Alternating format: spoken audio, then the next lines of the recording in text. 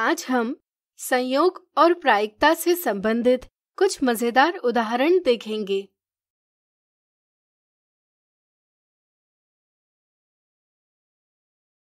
एक डिब्बे में कुछ पर्चियाँ हैं, जिन पर 11 से 17 तक की संख्याएँ लिखी है।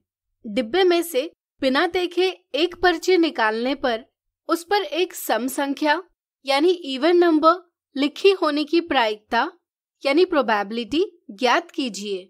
डिब्बे में कुल सात पर्चियाँ हैं, जिन पर ग्यारह, बारह, तेरह, चौदह, पंद्रह, सोलह और सत्रह, इनमें से एक संख्या लिखी है।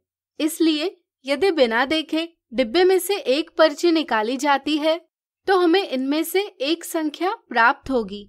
यानी कि पर्ची निकालने के प्रयोग के परिणामों की कुल संख्या यानी total number of outcomes of experiment सात है। यहाँ एक सम संख्या प्राप्त करना, एक घटना, यानी इवेंट है।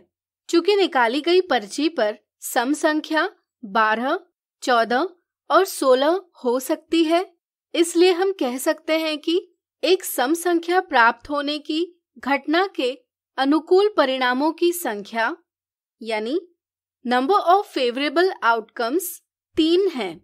किसी घटना के होने की प्रायिकता बराबर, उस घटना के अनुकूल परिणामों की संख्या बटे, प्रयोग के परिणामों की कुल संख्या है।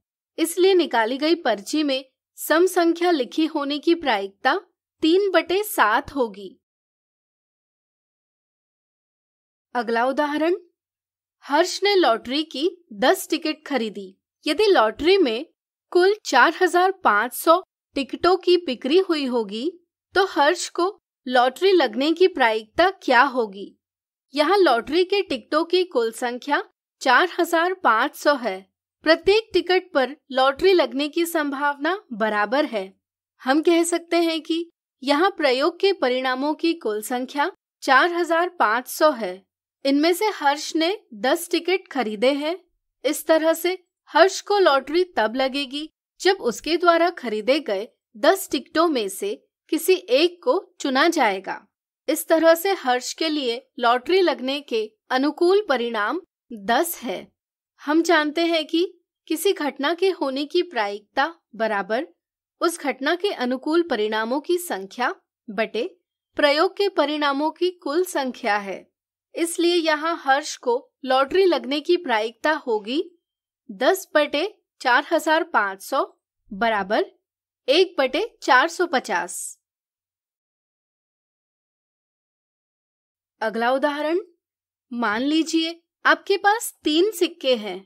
इन सिक्कों को उछालने के प्रयोग में दो सिक्कों पर चित और एक सिक्के पर पट प्राप्त होने की प्रायिकता क्या होगी? जब हम तीन सिक्कों को उछालते हैं तो इस प्रयोग के परिणाम इस प्रकार है। इस तरह से तीन सिक्कों को एक साथ उछालने पर प्रयोग के परिणामों की कुल संख्या आठ है। हमें दो सिक्कों पर चित और एक सिक्के पर पट प्राप्त होने की प्रायिकता ज्ञात करनी है। क्या आप बता सकते हैं इस स्थिति के लिए अनुकूल परिणाम कितने होंगे? सोचिए सोचिए। बिल्कुल सही।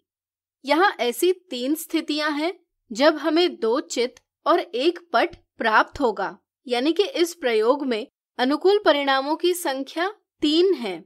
चूँकि किसी घटना की प्रायिकता बराबर अनुकूल परिणामों की संख्या बटे प्रयोग के परिणामों की कुल संख्या है, इसलिए यहाँ दो सिक्कों पर चित और एक सिक्के पर पट प्राप्त होने की प्रायिकता तीन बटे आठ है। तो आज हमने देखे संयोग और प्रायिकता से संबंधित कुछ मज़ेदार उदाहरण। अगले वीडियो में देखेंगे इनसे जुड़ी कुछ साधारण गलतियाँ।